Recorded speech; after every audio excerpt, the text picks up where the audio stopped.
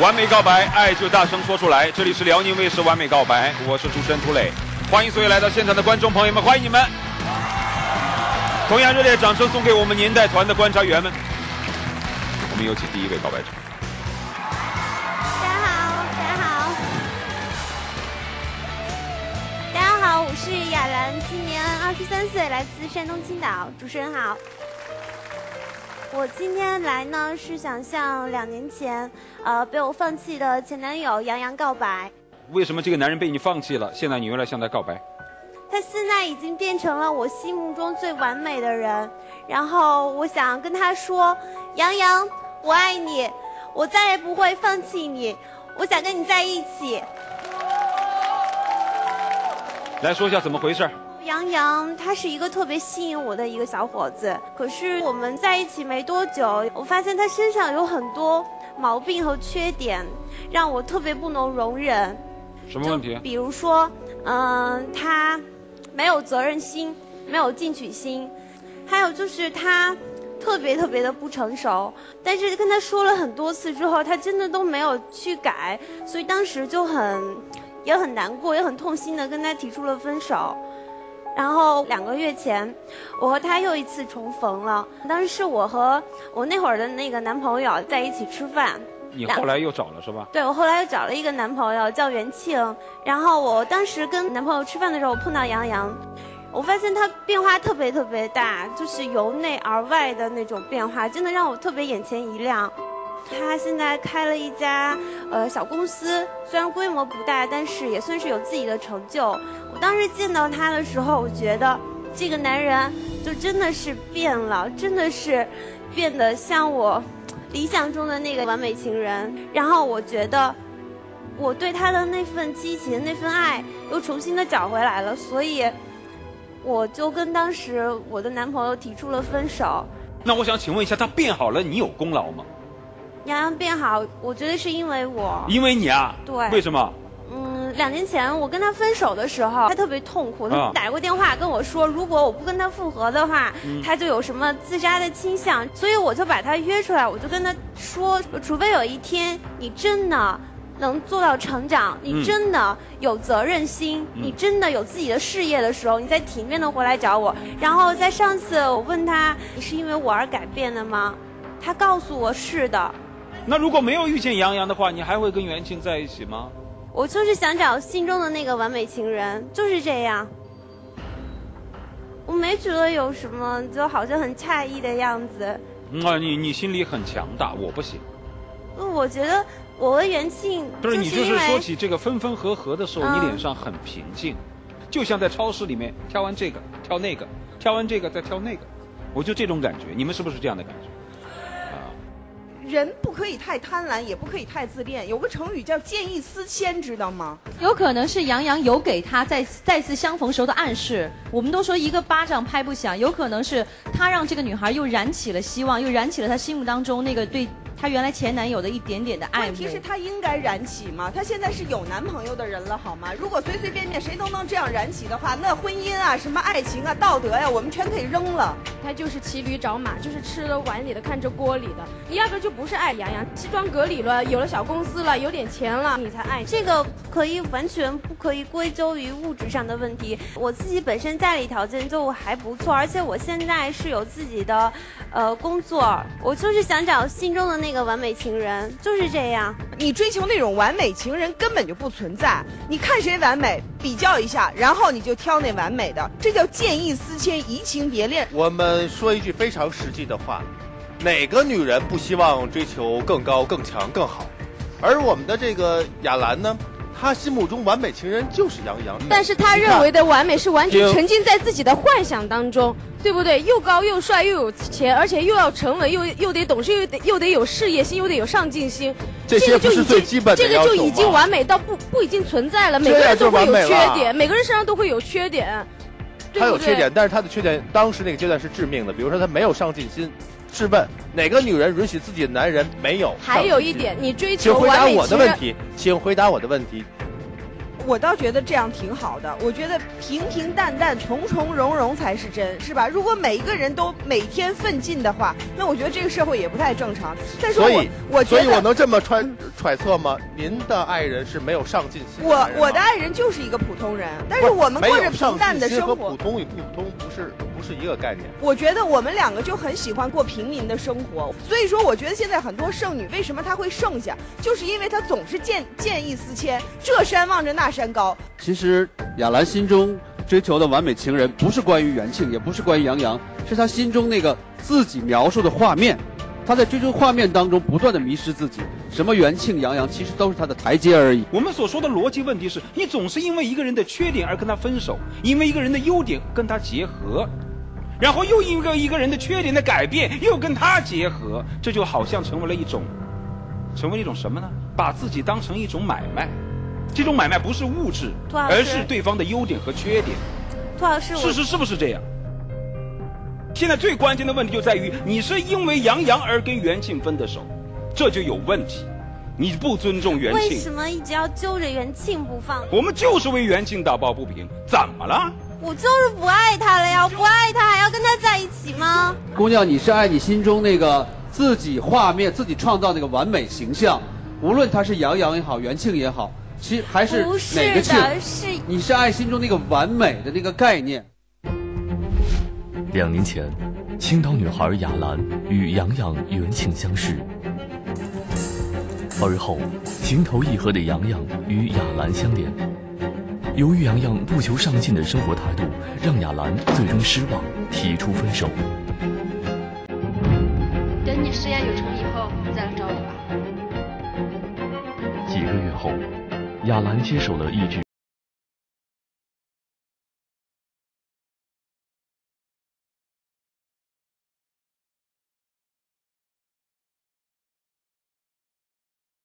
前不久，雅兰和袁庆约会时偶遇杨洋，之前不谙世。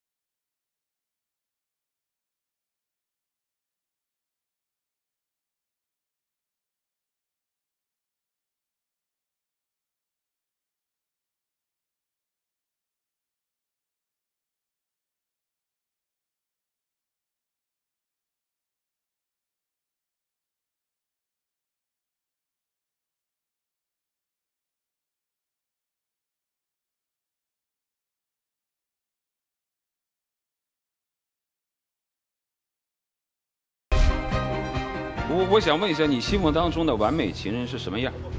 高大、帅气，有自己的事业，谁有进？取他们俩谁有？都有。谁好一点？杨洋你确定他是单身吗？确定那如果他有女友呢？他没有女朋友，我问他了，啊我亲口问他了问他的，对。去吧。啊，我问一下你啊，如果杨洋今天不来，你怎么办？我而变成现在这样，因为我的一句话变成这样，他怎么可问题就？出在这儿。凭什么你说你能你就能，你说你不能你就不能，你来你就来你不来你就不来呢？他今天就不来，你怎么样？他一定会来，如果他来了说他不爱你呢？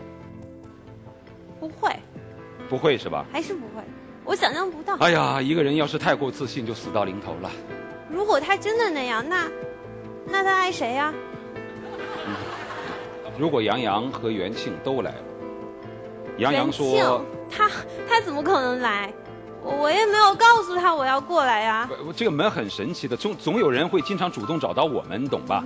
再加上他们俩又是朋友，如果袁庆和杨洋都来了，杨洋说，虽然你激励了他，有他今天的成就，但是呢，他已经有女朋友。了，而袁庆说，他还愿意原谅你，继续跟你在一起，你会做出什么样的选择？首先，这事情不可能发生，因为我之前我亲口向杨洋证实过，我问他你有没有女朋友，杨洋他亲口告诉我，他摇着头告诉我没有。我只是跟你猜测一下，好吧？来，让我们一起倒数五个数：五、四、三、二、一，请按键。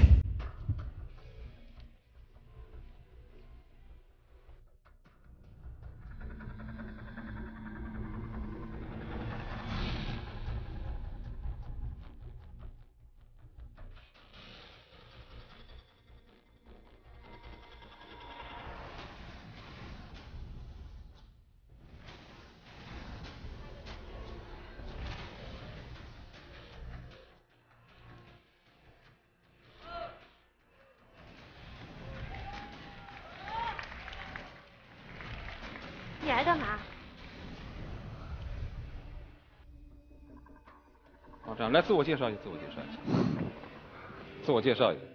主持人好，大家好，我叫袁庆。哦，久违了，久违了，久违了，握个手，握个手。我刚才一直为了你在这儿，哎呀，这喉咙都哑了，你知道？嗯。现在算是雅兰的男朋友吧？你是谁男朋友？你是说你是她的男朋友？算是吧。为什么叫算是？是就是，不是就不是。你把话说明白好吗？他觉得不是，我觉得是。凭什么呀？我们俩已经分手了。他说分手呗，为什么你说还是？因为我不想跟他分手，我还想他留在我身边。哎呦，你你不想分就就可以就可以不分吗？哎，我们现在说明白了，好不好？我现在不好奇这个，我我好奇中间这位女孩子是谁。嗯，主持人好，大家好，我叫竹子，呃，我是杨洋的女朋友。谁的女朋友？我是杨洋的女朋友。杨洋的女朋友。对。不觉得很可笑吗？你什么意思呀？他真的是杨洋的女朋友。我跟大家讲，他之前就有 就有跟我说杨跟我打电话说杨洋有女朋友，但是被我骂了一遍。他就无非是想跟我在一块儿嘛。都是真的，他真的是杨洋的女朋友。我真的是杨洋。姑娘，你谁啊？不是，你能不能冷静一下？我今天我现在很冷静，好不好？是你自己不信。我在底下是和你说过吧？杨洋他不爱你，你们根本不可能在一起，他已经有女朋友了。他怎么会不爱我？他爱你吗？你知道吗？杨洋亲口告诉过我，他没有女朋友，他亲口跟我说的，你知道吗？就在上次吃饭的时候，他跟我说的。我觉得很可笑，你们你们来这个这个舞台干嘛？我问一下啊，我问一下啊，袁庆，你干嘛带着杨洋的女朋友来？因为我私底下和亚兰说过，我说杨洋他已经有女朋友了，可是亚兰不信，他非要来这儿，我没办法，就把他带来了。我今天来其实主要目的就是。我不想亚兰再这么执迷不悟，这么自己先伤害自己了。执迷不悟呀？我觉得袁庆他是真的爱亚兰，他拜托我过来帮亚跟亚兰说一下，就是证明一下。看你这傻我跟你没可能了。你看。你还要我再说多少遍？我跟你没可能了。你们真的不可能在一起了。为什么不可能在一起？他爱的是我。你怎么就知道？能不他爱你，他还能找女朋友吗？他跟我说，亲口跟我说他没有女朋友的好吗？你觉得他会骗我？他为什么要骗我啊？你有没有想过，如果洋洋一会儿上来了，直接把他领走，或者直接拒绝你，你怎么办？你不觉得丢人吗？不可能！不，你你说你是杨洋的女朋友，对，何以为证？我来到现场，我为了他来，我就是证明。啊，嗯。这这杨洋知道你来吗？杨洋他肯定知道我来，他今天陪我一起过来的。杨洋也来了？嗯，他来了。那我问一下，你还要坚持要杨洋上来吗？对。如果杨洋上来了，真的如他们所料，那你真的很难收场。可能，你胡老师你不了解他，袁静。为什么一直这么执迷不悟呢？是谁执迷不悟啊？如果你不信的话，你看他来了会怎么说？你看他是把他牵走还是把你牵走？这个男人是真的爱亚兰呐，他到这会儿了还在为他当待会儿会不会没面子考虑啊？为什么所有人就是不哦不肯相信我？不不不不不不，我们一直在试图为你考虑。告诉我他没有女朋友，那就让杨洋来说嘛。他告诉我他一切都是为了我才这样。那你要不要开门吗？我要。真的要？对。那你去吧。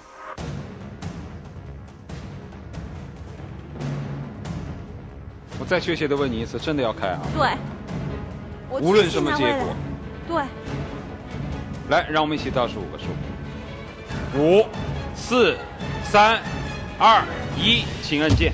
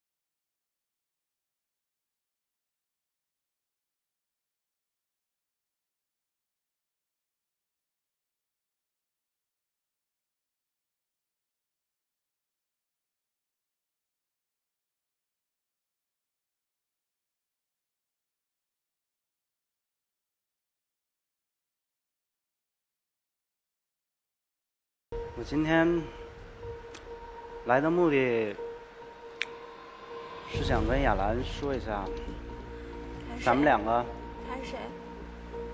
我女朋友。你不是告诉我，你你亲口告诉我你你没女朋友的？你不是这样跟我说她真的是我的女朋友。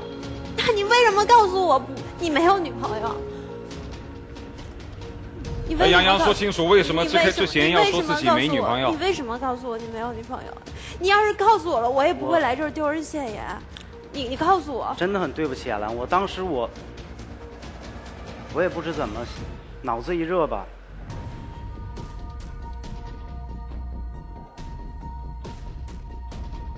他突然得到了前女友这种认可以后，他自己内心的一种对自我的一种安慰，是他关于被你甩掉以后，他心里一直有一种情绪一直没有过去。看到你的前女友又这样的热心的到你跟前来，你那份感觉好像又被认可的时候，你心里有安慰了，你又证明自己是可以的了。所以你在过程中，你那个脑子一热，实际上你心里边那个自卑，从自卑感到有点自信感的那个过程。是这样吗？算是，真的很对不起亚兰，我当时我，我真的不知道自己在想什么。你骗人！那么我再问一下你怎么杨洋，可以？你要不要接受亚兰的告白？他今天来是向你告白的，不要不要不要，不要告白是吗？我的心里已经没有她，而且我现在已经有女朋友了。我们在一起真的已经一年多了，没有再骗你了。你骗我！你之前不是这么跟我说的，你跟我说你爱我。我觉得你跟我你别说哭了，我觉得你现在应该冷静一下。你一句你跟，我说你好跟我在一起。你应该接受这个事实，你现在和杨洋已经结束了。杨兰，你冷静我他现在我到这个舞台上我容易吗？我那么要强的一个人。你要接受现实，你知道吗？你为什么要要懂得骗我珍惜身边的人。你 为什么要你现在骗我？你为什么要当骗我？初没有说，确实是因为我的错。但是我们两个已经分开我们两个已经分开两年多了我，希望你能放下这段过去我说要朋友是吗？我们两个已经分开两年多了，亚兰，可是我希望你从来没有不爱你啊！我已经不爱你了。我觉得你应该平复一下自己的情绪。我现在没有不爱你，我一直爱你们两个已经结束了。亚兰，今天我能说的能做的，你还说什么呀？你带着你的女朋友离开呗。听我跟亚兰说几句话，听我跟亚兰说几句话。你干嘛要来伤害我呀？亚兰，你们走！亚兰，我今天能说的能做的也就只有这些，你能好好听一下吗，亚兰？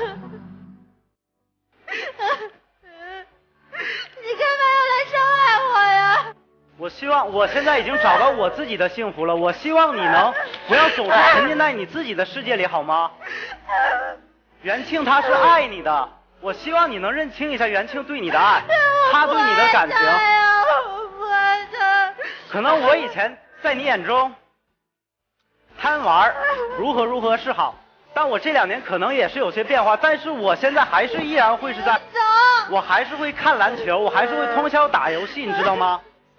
我其实没有太多的变化。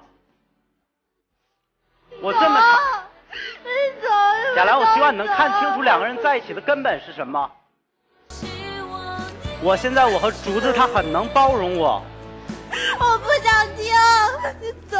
元庆他对你真的很好，我希望你能，你能接受元庆他对你的这份爱。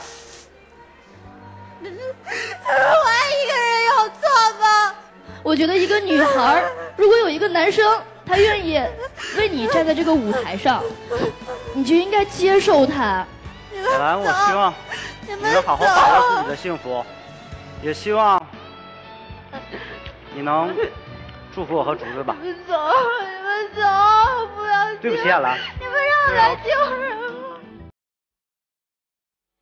亚兰，虽然我不知道我不想听你说，你这种人爱我吗？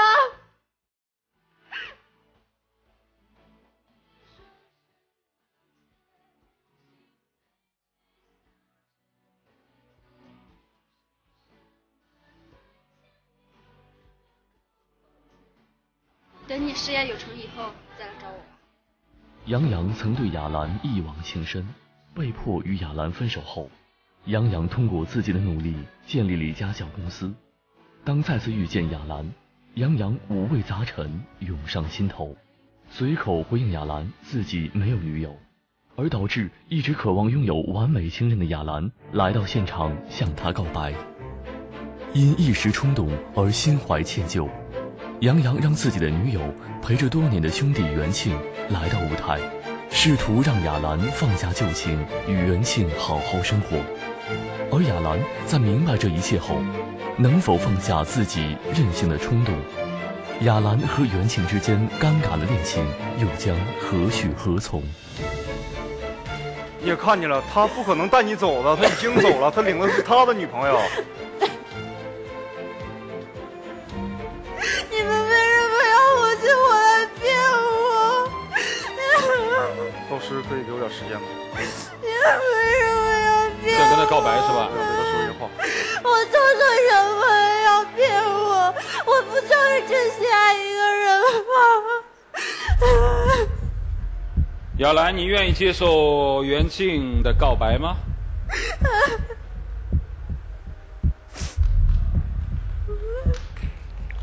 我先站在这儿。雅兰，我能跟你说句话吗？能转过来吗？雅兰，这边，这边，这边。其实我最懂你，你心里啊一直有杨洋，但现在呢，你尝到了一个什么自己酿的苦果呢？当时你怎么甩的杨洋？杨洋当时被你选甩的感受就是你现在。当然我没有骗他，我还是爱他，我是因为看不到未来，我是被逼手。我不能跟一个无所事事的人我问你，我问你，我问你，我问你，你别哭了。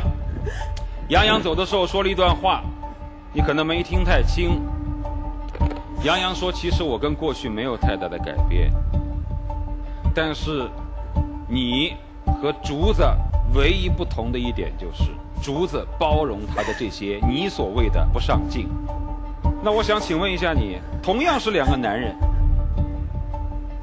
杨洋不能够包容你的缺点，他跟竹子走了，而元庆能够包容你的缺点，那你到底选择哪个男人呢？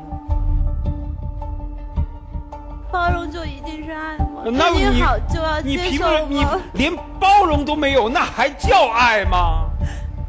爱之后才可以才包容。所以像你这样的人是万万不懂什么叫包容的。我当然不希望你一定跟元庆在一块儿啊，但是我觉得你有必要尊重元庆，说出他自己内心想说的话，好吧？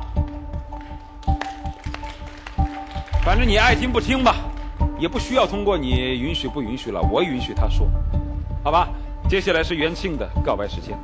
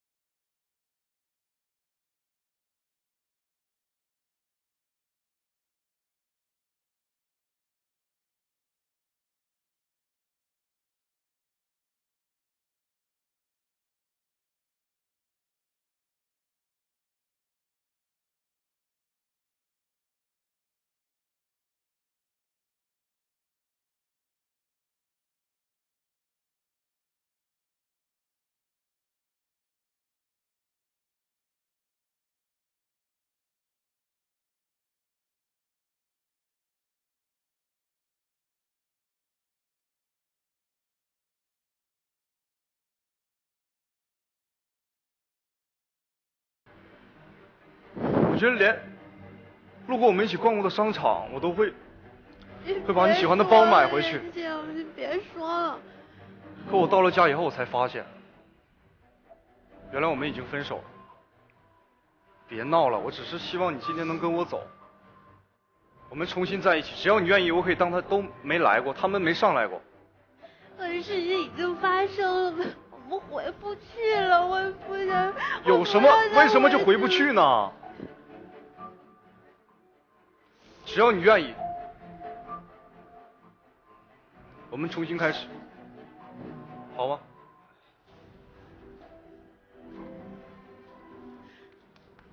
我配不上你，我我没有办法。没有配不上，配不上的。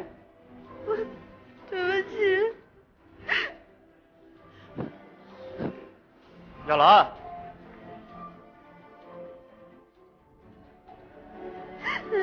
照顾好自己。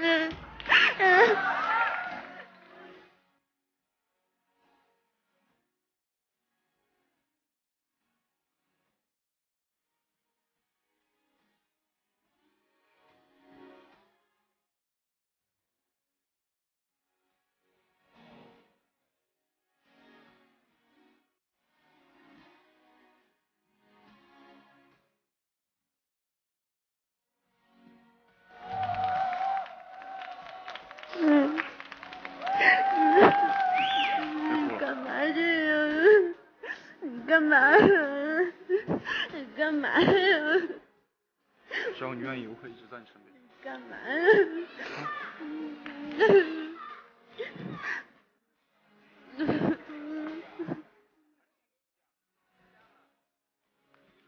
闹了。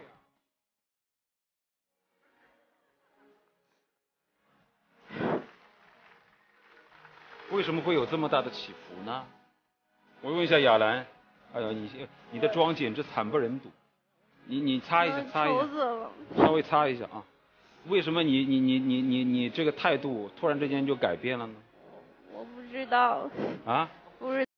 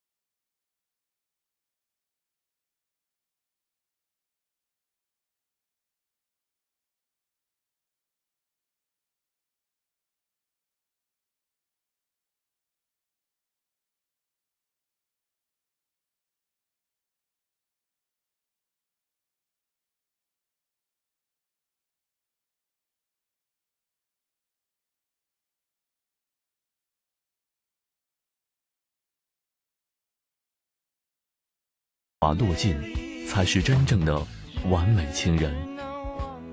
来，让我们掌声有请下一位告白者。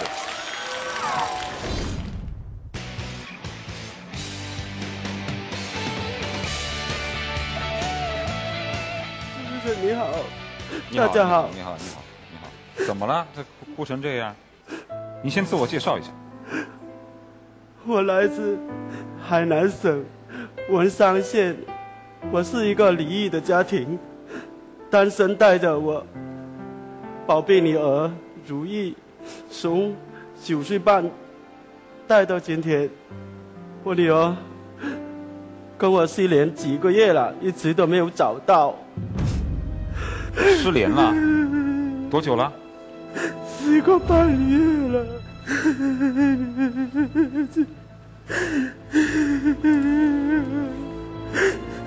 寻人启事：云如意，女，十五岁，上初二，一个挺活泼可爱的小女孩。女儿怎么失踪的？知道吗？我在一个小区里面当一个保安。嗯，我女儿失联那天十二点，我下班回家，一回到家没看到我女儿在床上睡，我就惊慌了，第一时间打电话问她妈妈，她妈妈说不在这。我说那你赶紧打电话问外婆在不在，也不在那边，一直都没有找到。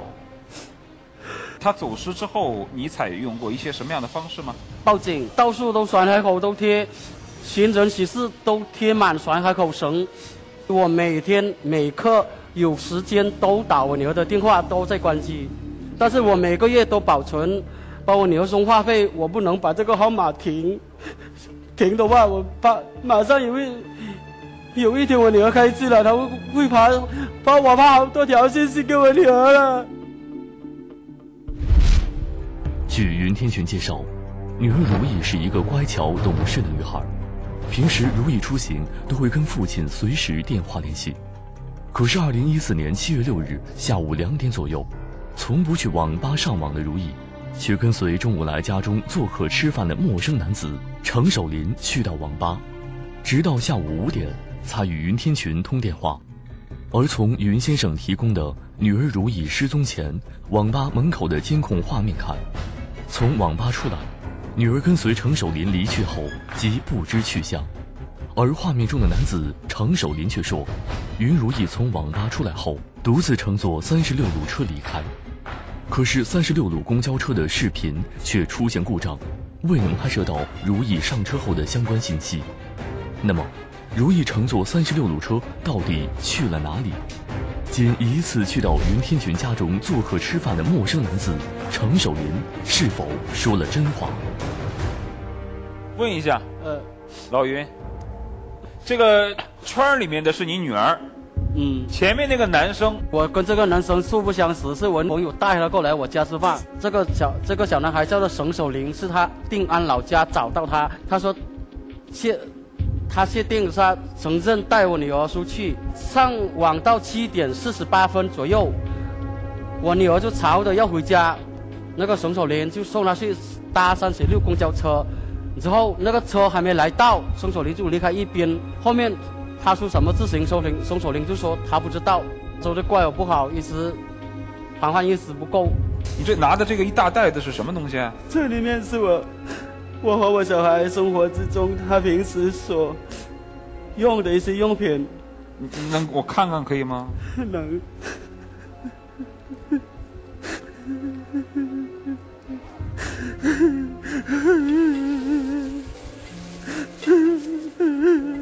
我给我女儿买的水壶，她经常打开水是学校喝水用的。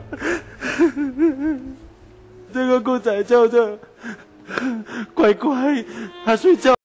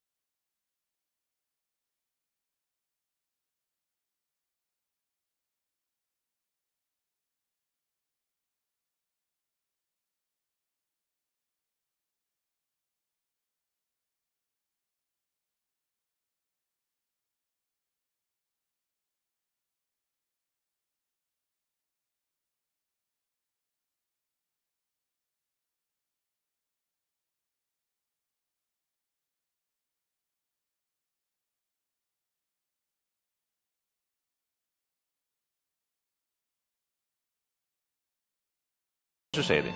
这个零钱盒是他爸爸爸每每天都给他的零钱，他都存在这里。全是一块一块的毛对，都是每天都给我女儿的零钱。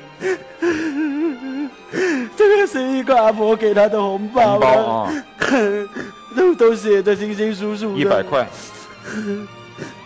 这个孩子是一个特别细致的女孩，那红包上的这些字儿啊，还是自己写的，还记还记着阿少的妈妈给如意的一百块钱哟，一个很可爱的女孩啊。如意啊，都在哪里啊？妈妈找我，买个身很不容易。云天群离婚后，和当时只有十岁的女儿如意，在海口租了一间不到十五平米的小房子居住。在这个小小的家中，记录着女儿如意的平常生活，以及父亲对女儿所有的爱。女儿失联后，云天群将女儿平时喜欢的东西整齐的摆放，依然如初，期待女儿有天回来，能像平常一样开心地说：“阿爸，我回来了。”如意失踪后，当地警方立即立案展开调查，而程守林作为如意失踪的重要嫌疑人，也被多次讯问。直到录节目时，程守林还矢口否认如意的失踪与他无关。在线索中断的情况下，寻女心切的云天群，不但天天去到女儿经常去的海边，期待如意奇迹般的出现，同时还找到我们栏目组寻找如意。为了帮助云天群寻找女儿，我们去到海口向警方了解情况，同时我们还在完美告白的官方微博发布了相关信息，引发网友们的强烈关注。那么，云天群能否寻找到失联已久的女儿如意，相会在完美告白的舞台？那接下来，请你站到开启告白之门的按键旁边，看看我们是否有线索或者找到了你女儿，好吗？来。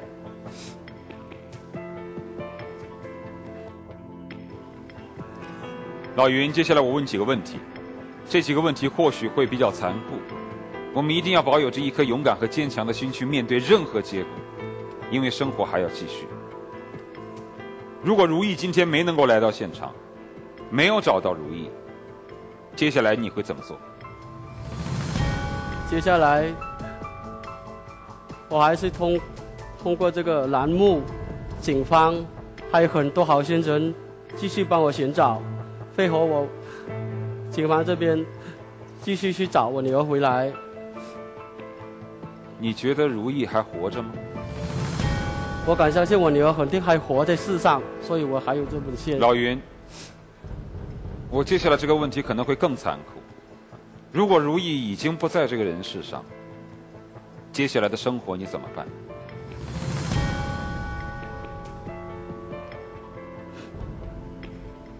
不想再了。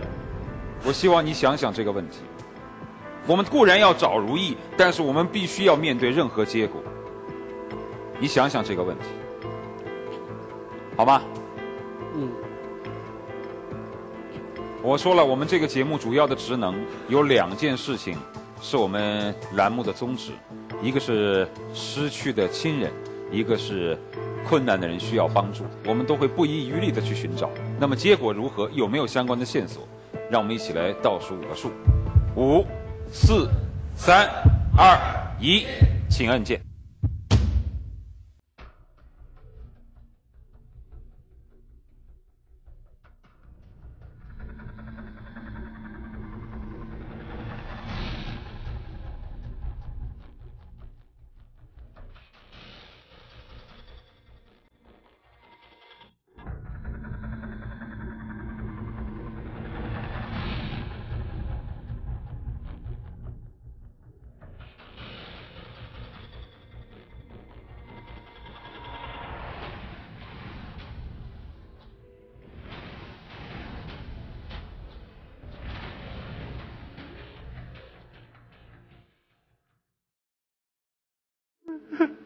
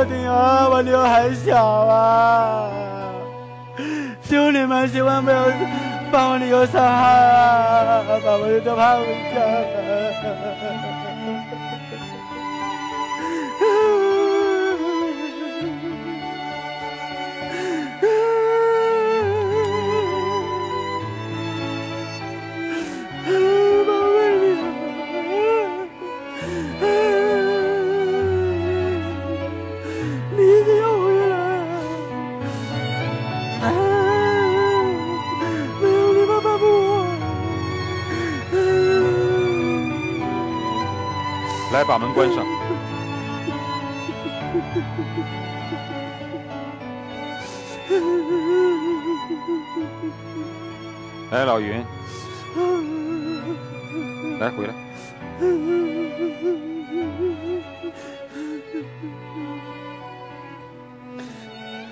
我说了，我们要敢于面对任何结果，虽然这未必是最终的结果，但目前的情况就是这样。我们虽然要不遗余力的去寻找，但是也要面对生活当中出现的种种可能会出现的情况。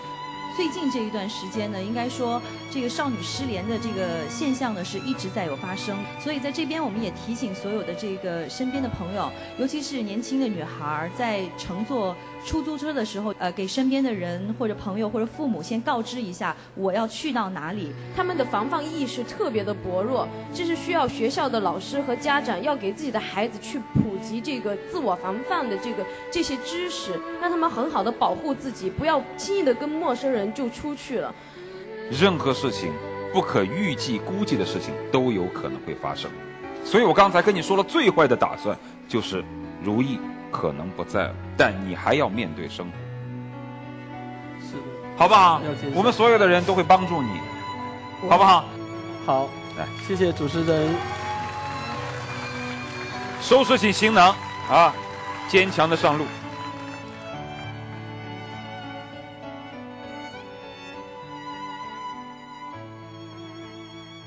在节目播出前，云天群接到当地警方的通知，经过 DNA 比对，女儿云如意已不幸遇害，警方已抓获犯罪嫌疑人。我们对凶手的恶行表示强烈的谴责，愿逝者安息，生者坚强。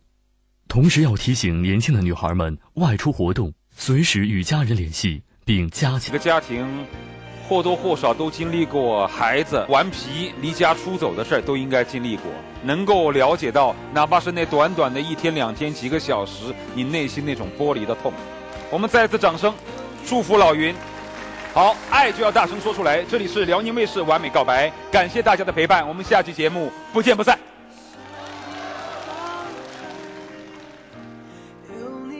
要担心。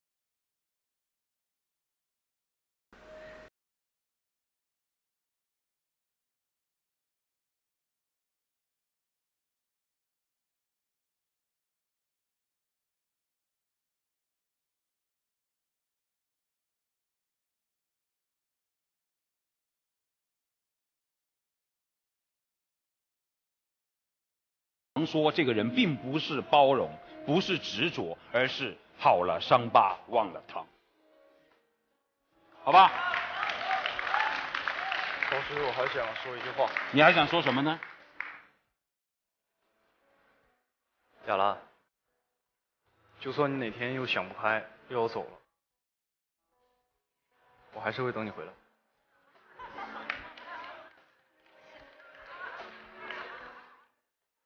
好吧，带着你迷路的小女孩回家吧。好吧，祝你们幸福。世界上并不存在完美的亲人、完美的婚姻，而生活在单亲家庭中的亚兰，从小就被母亲教育，一定要选择各方面都优秀的男士，才能考虑作为婚嫁的对象。寻找完美亲人，成为了亚兰恋爱最大的障碍。然而，就像元庆告诉亚兰一样，两个人能一生陪伴，才是完美的爱情。其实，爱就在亚兰的身边，希望她能好好珍惜，因为相爱的人，待到风烛残年、繁华落尽，才是真正的完美情人。来，让我们掌声有请下一位告白者。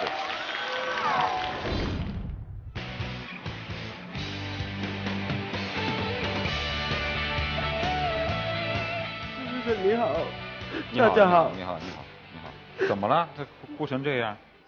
你先自我介绍一下。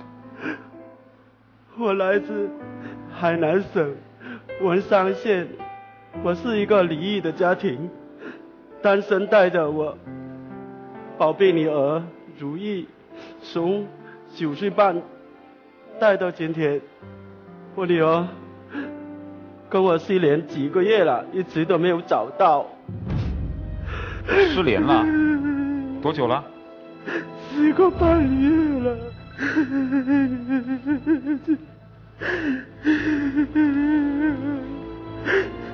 寻人启事：云如意，女，十五岁，上初二，一个挺活泼可爱的小女孩。女儿怎么失踪的？知道吗？我在一个小区里面当一个保安。嗯。我女儿失联那天十二点，我下班回家，一回到家里面看到我女儿在床上睡，我就惊慌了，第一时间打电话问她妈妈，她妈妈说不在这。我说那你赶紧打电话问外婆在不在，也不在那边，一直都没有找到。她走失之后，你采用过一些什么样的方式吗？报警，到处都栓海口都贴，寻人启事都贴满栓海口绳。我每天每刻有时间都打我女儿的电话，都在关机。但是我每个月都保存，帮我女儿充话费，我不能把这个号码停，停的话我怕马上有一有一天我女儿开机了，她会会发发我发好多条信息给我女儿了。据云天群介绍，女儿如意是一个乖巧懂事的女孩，平时如意出行都会跟父亲随时电话联系。可是，二零一四年七月六日下午两点左右，从不去网吧上网的如意，却跟随中午来家中做客吃饭的陌生男子程守林去到网吧，直到下午五点才与云天群通电话。而从云先生提供的女儿如意失踪前网吧门口的监控画面看，从网吧出来，女儿跟随程守林离去后即不知去向。而画面中的男子程守林却说，云如意从网吧出来后，独自乘坐三十六路车离开。可是三十六路公交车的视频却出现故障，未能拍摄到如意上车后的相关信息。那么，如意乘坐三十六路车到底去了哪里？仅一次去到云天群家中做客吃饭的陌生男子程守林，是否说了真话？问一下，呃，老云，这个圈儿里面的是你女儿，嗯，前面那个男生，我跟这个男生素不相识，是我朋友带他过来我家吃饭。这个小这个小男孩叫做沈守林，是他定安老家找到他，他说确他确定是他承认带我女儿出去上网到七点四十八分左右，我女儿就吵着要回家，那个沈守林就送她去搭三十六公交车。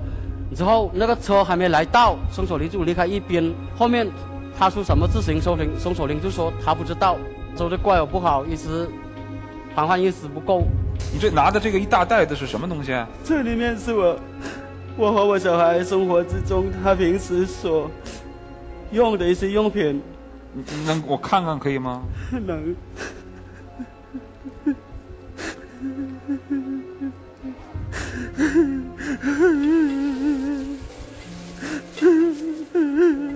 我给我女儿买的水壶，她经常打开水是学校喝水用的。这个狗仔叫做乖乖，他睡觉。我接下来这个问题可能会更残酷。如果如意已经不在这个人世上，接下来的生活你怎么办？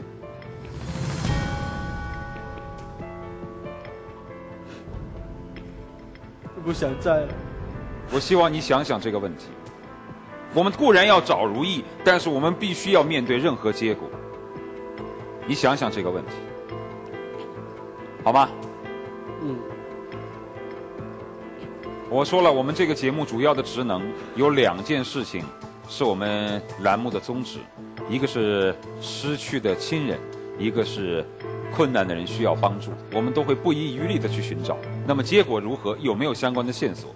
让我们一起来倒数五个数：五、四、三、二、一，请按键。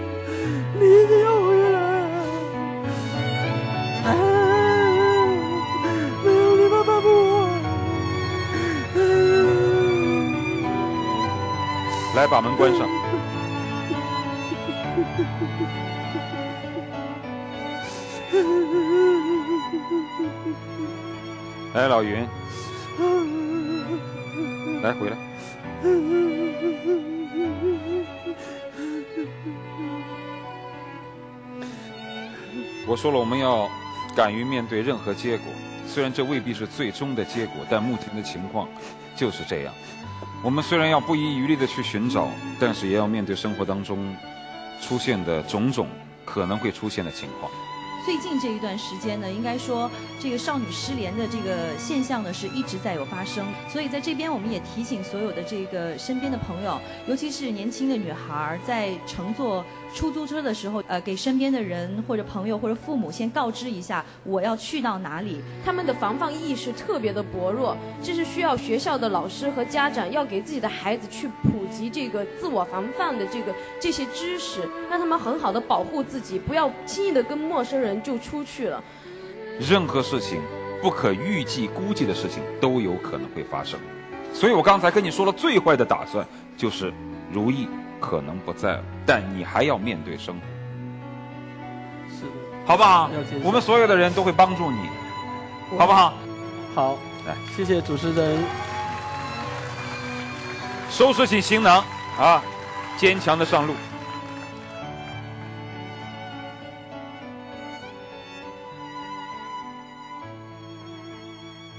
在节目播出前，云天群接到当地警方的通知，经过 DNA 比对，女儿云如意已不幸遇害。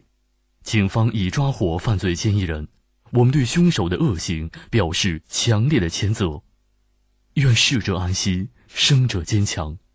同时要提醒年轻的女孩们，外出活动随时与家人联系，并加强。这个家庭或多或少都经历过孩子顽皮离家出走的事儿，都应该经历过，能够了解到，哪怕是那短短的一天两天几个小时，你内心那种剥离的痛。